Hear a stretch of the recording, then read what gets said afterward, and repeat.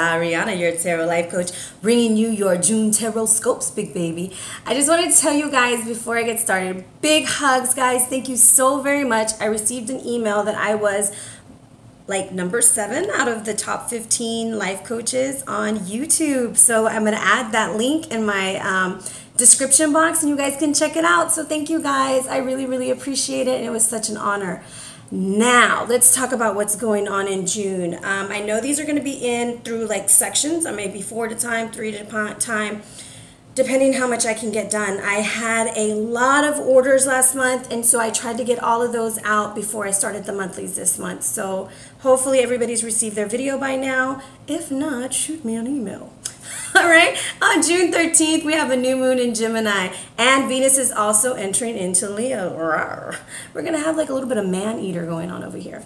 Now, on June 18th, Neptune goes retrograde into the sign of Pisces. It's going to form a grand trine with Mercury and Jupiter. This is a wonderful time for spiritual development, a great time to get things together for yourself. And this, this goes all the way until the 24th of November. So lots of personal growth, lots of spiritual enlightenment, okay? June 26th, Mars goes retrograde. Capricorn, Aquarius, Capricorn can't make up his mind. High energy, lots of distractions, lots of friction, guys. Lots of friction. We might hear stuff about government coming out. There might be like some leakages. So just be prepared and also know that when that energy happens as a collective, it may happen in your personal life too. So being aware that maybe not to take everything so personally. And then on uh, June 28th, we have the full moon in Capricorn. So, and then we're already in July. And then I get to be on vacation. Ah! so, with that being said, let's get a channeled message for our collective. We're going to be using messages from the spirit guides. So, for the month of June, for all that's watching, what kind of energy can we harness?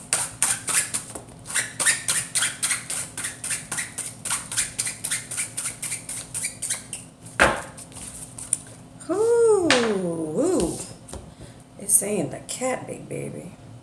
So this is going to be a maybe it's because of that um, Mars retrograde. This is going to be a month where we really start looking at why we're dependent on others, who we're dependent on, why we're choosing the people that we want to be with. We're just going to be a little bit more finicky. So it says to strike out on your own and stop being over dependent. So you're going to have to be a little picky like the kitty cat, okay? Because I know some cats won't just let anybody pet them.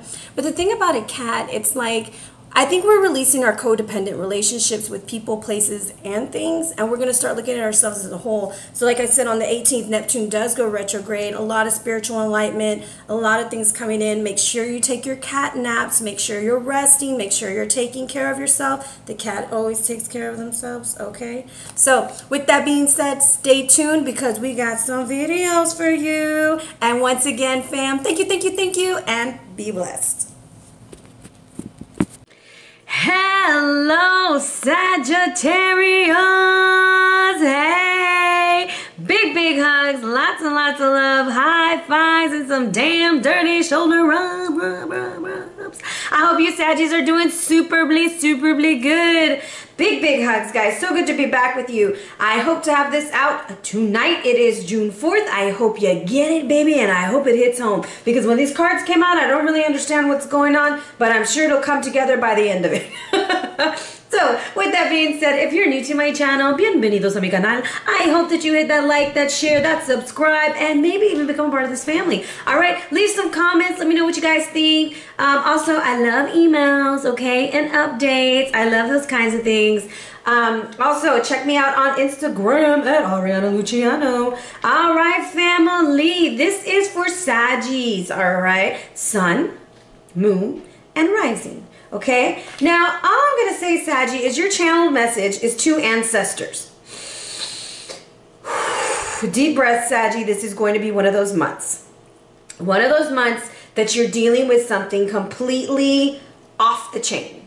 You may need some huge guidance, and your guides, your spirit guides, your ancestors, however you want to look at it, are coming through for you. The first one coming through is the ancestor of knowing, which is um, you know, attributed to the owl totem. We got the owl with these big, big eyes, okay? And that's the better to see you with. And what's so interesting is it just kind of hit me like, you see the, those little things in the back? It almost looks like wings, right? Well, your your um told your power animal. I can't talk. Your power animal is the bee. It kind of looks like a big bee in a way. Okay, so let's really pay attention to what's going on around you because the ancestor of knowing is telling you there's some things in your life gotta go. Transformation is key. We're shedding. It's the announcer of death. The owl comes in. Things are about to change. We're about to grow. However, there is also some secrets being withheld from you. But you got this, boo. You have the ancestor of knowing coming in and telling you exactly what you need to know, okay? Now, the ancestor of hope is, I feel like you got air guidance, like you're seeing things from a higher perspective, you're seeing things through the darkness, you have more than a 180 view of everything, you're changing your mind completely, okay? Because the owl can almost turn 360 degrees, almost, okay? So you're able to see things from all angles, you're getting all kinds of information. But then the ancestor hope, Balam, Balam, Balam, his way all the way in. And it's there to save the day. Because the horse is coming in with hope. It is time for freedom. It is time to break free. It is time to move forward. No more sitting around waiting for things to change. You are going to change them. You are releasing the past. You are moving forward. And this is freedom. Freedom at all kinds of levels freedom to get to the next level. Like I hear that video game, like you know, do do do do do do do do. Y'all remember on Super Mario? And then you would like get the mushroom, be like, wah, wah, wah. I feel like you're eating the mushroom and you're gonna grow. Okay. However, none of that is easy, and that's why your ancestors are right next to you. Okay. So let's move that Saggy and let's talk about your power animal or power insect. You got the same one as Leo which is interesting because we have this sun right by it. And I've been saying this like on almost every video. Solar plexus energy this month, guys. Confidence is key. Bellies, we've got to start paying attention to what we're putting in, all of that good stuff because we have got to work with that energy. Now, this bee is sticking around here. When I saw what the bee was doing, the bee is being very productive, right? He's taking the nectar from the flower. We got the empress right next to her. So I have like a basic description of what these these cards mean, right? The bee, what it symbolizes, all these kinds of stuff, royalty. It's attributed to um, different deities, that kind of stuff. But none of that is hitting me right now. What's kind of hitting me is that this flower is right by the sun, by this empress who's creating, and she has like this eagle, right? And then there's this mala, it's about mantras, and then transformation happens. So, what I'm going to tell you is a story. You are lost in illusion. You are confused. You don't know what's going on. You want to believe what you're hearing, but it's like you're going to get the information yourself, and then the lights come on, and then you transform. So that's kind of like what this month is going to be like for you. Now, the B is also significant to compassion, to forgiveness. Um, letting that be the top priority, whether it's forgiving someone else or forgiving yourself. Now, if right now, as I'm talking about forgiveness, somebody comes into your mind, that's the person you need to forgive, okay? It's really easy to say, I forgive you. It's really hard to mean it, all right? It, it is not a very easy task, all right? And I'm not telling you you have to forgive everybody, and you you should, okay? But it's a process. It's not like okay, I forgive you, it's all great. Let me remove that knife from my back and let you stick it back in. No, forgiveness is not carrying that hate with you anymore, but knowing what you're working with, all right? Now this is productivity, this is compassion, this is love, this is mother goddess, this is royalty okay? Also if a bee lands on your hand and i think it means like money and wealth is coming all right? Think about jelly. Think about honey. I don't think i don't know why i said jelly. Think about honey. Think about how rich it is okay now, mentally, you have illusion coming in. So you are in a labyrinth of lies. and it's lies from the past. The number six is going to be really prominent for you this month. You have a six with illusion and six with transformation. Six to me is like childhood, the past, being nostalgic, being stuck in the past, things that bring you pleasure, all that good stuff. And I'm getting a lot of sacral energy towards your soul. Like it's like going to be a breakthrough where you're going to find your pleasure, you're going to be creative, that kind of stuff. But right now we're all up in our head. But you need more information before you proceed. Do not let what what's in front of you deceive you, okay? Now, stay alert. You need to smoke and mirrors, my friend. This is the magician card personified. Now, the distractions are everywhere right now. Reassess your direction to uncover your true path. So if you kind of look at this card, this guy's like walking up all these things. He's like, oh my God, I can't get out of here. And I always think about the movie The Labyrinth every time I see this card. It's time for you to realize that you're stuck in a situation that you shouldn't really be stuck in. Mm-hmm whether it's work wise, whether it's just in your head, or whether you're just not seeing the other opportunities that you could work with. Whew. Physically, we have from the Egyptian tarot the Empress right here. Card number three, okay? The number for this is three. The letter is G. 3G, baby. Anyways, she represents creativity, the power, the source. The sun is right behind her. The moon is at her feet. So it's almost like, hey, shine bright like a diamond, but keep yourself, you know, keep those emotions there, you know? The it's like you're dominating your emotions because the moon is at your feet, okay? It says, remember to affirm what is true and what is just is already to create. To affirm what the contrary means is to devote oneself to destruction. You need to talk about the good things in life. What are you being productive for? Who's the queen in your life? Are you the queen? Are you a part of the team? Are you supporting the queen? What does the queen represent? Okay, queen bee, worker bee, that kind of stuff. Are you being productive? Now, this is like a very positive omen physically for you. I feel like you are really moving into place. This is authority. Okay? So either you're working with someone in authority or you're in authority and you're you're it's an illusion that you're not working hard enough for somebody, okay? Maybe you're not working hard enough for yourself. But it's just an illusion. It's in all in your head. Okay? Now, this is also abundance and complete success. So I wanted to get more information and I used the seeds of Shakti. And I don't at first when this Mala card came out, I was like, what the hey? What is or like my my little two says, what the heck? She's so cute. Anyways, I was like all her little sayings like stay in my head. This mala is about affirmations, prayers, intentions, inner peace, and manifestation. And being that right by the Empress, being that right by the bee, the productive bee, whatever you put into action is going to flourish. You have got to back it up mind, body, soul. There has to be a connection. The part that's not connecting for you right now is the mind.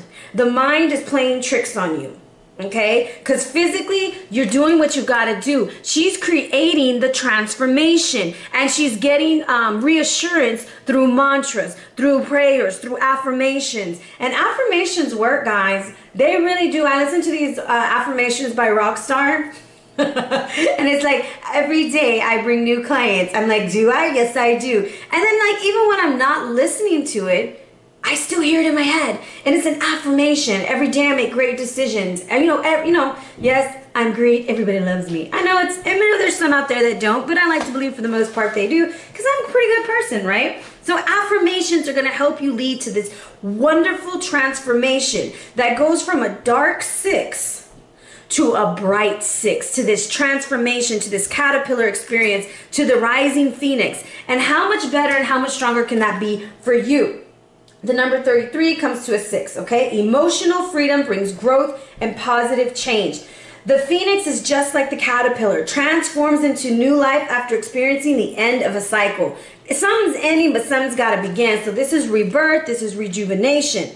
So even within negative experiences, physical trauma, emotional suffering, you've just reached that point where you're like, okay, this is the make it or break it phase. And I choose not to carry this baggage with me. I'm going to release this and I'm going to fly high. I'm going to emerge with confidence and no more emotional imbalance. The depression is gone. The, the, the melancholy is gone. No, I've said that all wrong. But um, you're ready for something new. If you're in a relationship, the phoenix represents strong change, encouraging you to look at yourself for self confidence and independence. If you're not, this is the formation of a new one coming in for you where you're going to be yourself and actually be who you are, okay? And then it goes into the energy of the phoenix requests that we assess our daily rituals and habits. Are they serving you? Do we need to cut them or release them? So, are you doing prayers? Are you doing your mantras? Are you doing affirmations? And if you're not, you need to. And if you're doing them and they're not working, you need to change them. That's okay. See, now it's tied together because at first I said, I don't know what the hell going on with Saggy. I don't know because it's my moon. I'm trying to figure it out. So, yes, you are productive. Yes, good things are coming, but you got to keep reminding yourself of that so that the transformation can change and you get out of your damn head, Sagittarius. Okay? So, let's jump into the title. Okay. Saints of bless these cards show the energy that you have for Sagittarius, Roll the two. Wrong cards. Grab the oracle cards. I was about to start reading with oracle cards. Let's cut the deck. Three is your number. Six is your number. I'm telling you because I have a 33. It's six again. Okay, three with the Empress and the three of arrows. So the Empress has a message for you. Some of y'all are fertile as F. Okay, I'll get out. You need to get on the pill or something if you ain't trying to have a baby. Wrap it up. Okay, the pull out method don't work. I got two kids from that method. Um, you're fertile, but you're also fertile in ideas, fertile in ventures. Stop letting the illusion trick you. The three of arrows reversed. Stop. Like, I feel like you get a great idea and you're like, nah, that's not gonna work. Or you have a breakthrough and you're like, no, it's not gonna last. It's almost like you like kind of shoot yourself in the foot there. Like things are getting good and then you like want to talk bad about yourself. There goes the first card that fell out. And it's you, Saggy, looking all hot and tempting, and the rest just fall out. See what we got here. Let me move these out the way. These fell sideways. Let me, oh, let me see, should she be upright? That's you. That's you in the past, controlling, controlling everything. Yeah, upright, upright, okay. When they fall sideways, I just like to make sure, okay? And we got one more card. Who's it gonna be? Mm -hmm. Wait, this should be upright? Let me make sure because it fell sideways. Upright? No. Okay. okay, Saggies, what we got going on here? So we have the Queen of Wands in the past. This is either you or you're dealing with another fire sign. All right? Leo, Sagittarius, or Aries. This is like the boss woman if you're attributing this to work. Every time I, I do a read, I like for you to kind of think about what you want to know. If it's a work situation, tie the information to work. If it doesn't fit, don't wear it, okay? If this is about a relationship, I really think this is about um, more of partnerships and relationships because it's going to the number six. And I also feel like this is about things that have been going on for a very long time and you're tired of fighting. The overall energy is the Eight of Cups reversed. You're tired of fighting with somebody and you're ready to go back to whatever it was, whether it was being alone or going back to whatever it was. The Queen of Wands is you or someone you're dealing with, all in their element, looking at the situation. I feel like almost like you saw the shit, you saw the lies, you regret it, you made the right decision and you're done fighting for this, okay? Possibly a water sign, Scorpio, Cancer, Pisces, because you're about to run away from them. Or that Scorpio, Cancer, Pisces is trying to come back to you. Now, Saggy, you're looking at these lies and you're like, really? Is this what you're gonna do? Come on. And we may be dealing with a Gemini, okay? Gemini might be trying to pull the wool over our eyes. However, this seven of arrows is like, are you gonna blindly follow this situation, queen? Are you? Or are you gonna regret this? because it's to lead to like a whole bunch of bull if you do, okay? So let's clarify what the queen wants you to know. Let's see if it's this deck. Yeah. So we're to go with the wisdom of the oracle. What do they need to know? Y'all, I don't even know if y'all saw those cards fly out. Say number one. It's another three. Should it be reversed? No. Okay. So you saw the shit show going down, Saggy. You know something's going on. There's a change in the wind. If this is a relationship, it's going to pass. Okay, it might be because the Ten of Cups is looking right at me, um, and it's reversed. It's gonna pass. You need to hold on tight. You need to trust because you're on top of the back of the zebra. You need to trust your foundation. You need to stand where you are and do not follow all the gossip. Do not do not follow the bullshit is what I really want to tell you because those two people are just running blindly. I feel like they want to tattletale, which I don't know why. I'm not like usually this kind of a reader, but I feel like they just want to bring you gossip. Hey, did you know such and such? Did you hear about such and such? Oh my gosh. And you're like, are you serious? So, anyways, the storm is going to pass, okay? The storm is going to pass at work and it's going to pass at home. It's just a matter of having faith. There is a lot of threes involved in you, okay? So you may have a third party or a third party offer for work. It's just it's just really odd energy. It's going to pass. The seven of arrows is just telling you sneaky, sneaky, okay? Almost feel like telling you secret, secrets, they're no fun. They can even hurt someone, okay? Because that's what's that's what's coming through. Let's see what energy to work with here. Meerkat. Yeah. Basically, Get support from trusted, trusted group of like-minded people, okay? That's the thing. Those two people trying to feed you the bull, and you see the way Meerkat is standing like, hell no. And you remember the owl had those weird eyes too? Meerkat has those weird eyes too. Almost like you need to see things clearer, okay? More clearly. And Meerkat is about finding out why you trust the people you trust. Does this person fit that description? Why are you wasting your time if they don't? Because the hidden influence is defeat. It's almost like you got away with it or they got away with it and you're gonna catch them, all right? Like you're like, nah, bro. Really? After all that I've done, after all that I did for you to get this job, after all I did to come back to you, this is how you repay me? Because the five of arrows, this is where Anzu steals the tablet of life, right? And then he's like, I got this, I got this. And then Ninurta was like, oh, hell no. And he, he didn't kill him the first time. But damn Skippy, he got him the second time. All right? So they might have got away with it the first time. They're not getting away with it this time. Not at all. I'm sorry, Saggy, this might be a long read. Why? Why? Why? I almost feel like that's what you're going to be asking yourself. Why? And I'm not even going to go with the meaning of this card. I'm going to tell you it's like simply it's going to be like reading a book. You're going to be like, I saw all the signs, I saw everything there, and I didn't believe it. I didn't see it coming. What was I thinking? You know, and it's almost like you don't even, you can't even really answer it yourself it, it's just like it came out of freaking nowhere. It didn't because all the signs were there, okay? All the signs were there. Um, it's like you denied the truth when you saw it, okay? Uh, it's also like our partner isn't trying to like really, it's, you don't even know why you're with them anymore. You're just like, what the hell am I doing? So the advice is the lovers. The advice is making a decision, right? Making the right decision. But you kind of see how she's like clothed in all that beautiful yellow. I just love how she's dripping in solar plexus energy, you know? She's got that peacock under her feet, and a peacock represents an animal who can eat poisonous berries, poisonous plants, and will not die. Okay? So you have been fed poison, my friend, but you're not gonna die you're gonna be all right. Have y'all seen that meme where it's that guy who's like, oh, you you did that, but you're not dead yet, right? Like, so you'll be all right. and it's almost like this. And it's, this is a Capricorn God offering the high priestess his cup of love. Someone is giving you an offer. I'm going to tell you, take your time in that decision and find out why you would want to take it.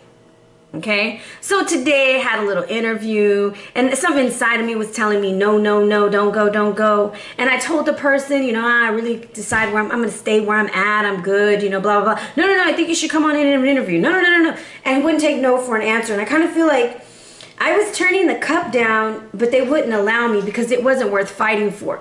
So somebody's offering you an opportunity. They're giving you a chance to do something different, but it's like you almost don't want to take it. So that the the answer to this is to not accept it. Okay, don't accept what they're giving if it's not worth the fight and you don't even understand why they're doing it. The thing is, is the truth is being withheld. Because you see how the book has the wings? It's flying away from you. And then you have the seven of arrows, which is all hidden agenda. Hidden, hidden, hidden. All right? So let's see if the lovers can give us guidance. Where is it coming from? Okay. Sacred power deck. Ha! Compassion. Okay, so she is sitting on top. This is Kuan Yin. This is one of the deities. She is also attributed to the number 333. Some of y'all may be getting visitations. Some of y'all may be getting angelic messages. Some of you may be finding feathers because of the book that has the feathers. However, this is Kuan Yi. She is the bringer, Kuan Yin. She is the bringer of life. Some of y'all may be getting a wonderful idea. I did talk about fertility. Some may be finding out you're pregnant. So, congratulations. Compassion is the number nine here.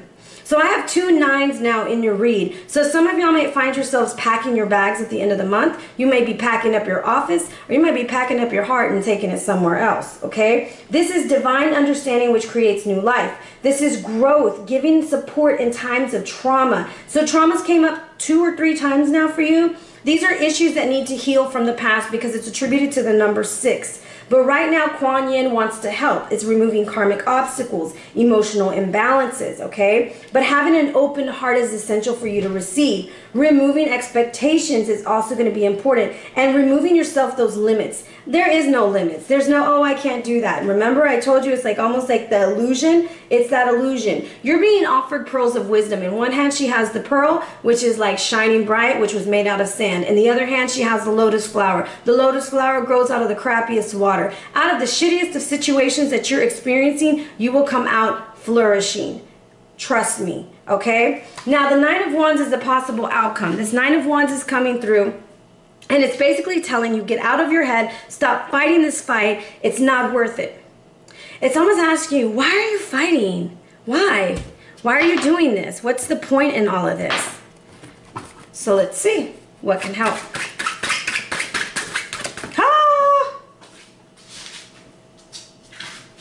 You have tortoise energy. It's time to protect yourself. You're all over the place, Saji. You sit your ass down for a minute. and you need to get grounded. You need to get your feet on the ground. You need to get your head in the game. And you might need to retreat into that beautiful shell of yours and get yourself together. I, I swear, you're packing up and moving on because it's like he's like he's got his home on his back and home is where the heart is okay? You see this home over here? The queen of wands knows that's her house. I feel like you might be kicking someone out your house. You might be changing houses or you're taking somebody out the house house which is your body all right? You're telling them um, that locks have been changed. Now the eight of cups reversed is like this is like the energy of just wanting to go back to the good old days wanting to go back to the way things used to be See, from the Eight of Cups, you're returning to the Seven of Cups, and the Seven of Cups is like the player card. You had all these options, all these good things coming at you.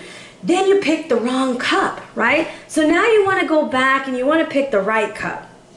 That's why at the lovers you do it with compassion. If you turn that cup down, do it with compassion, do it with kindness, because that's the only way to do it, right? Now, I did tell you I had something from Mars for you guys. Mars has a message. Mars goes into retrograde on the 26th. Please watch your attitudes because when Mars goes retrograde, people be trying to fight all the time, okay? Now you are fighting for inclusion. This is Denali. This is all this is located in Alaska, USA. And I'm to read to you from the past because I feel like since it's going retrograde, it's kind of bringing in these emotions, okay? And this is such a beautiful card. So, have you ever been left out in the cold to fend for yourself? Some of y'all gonna be packing it up. So, it's time to call on Sedna, the Inuit goddess of the sea, to heal the scars these experiences have left. Sedna's power animal is the walrus. And the walrus always tells you to kind of sit back and let things happen, okay?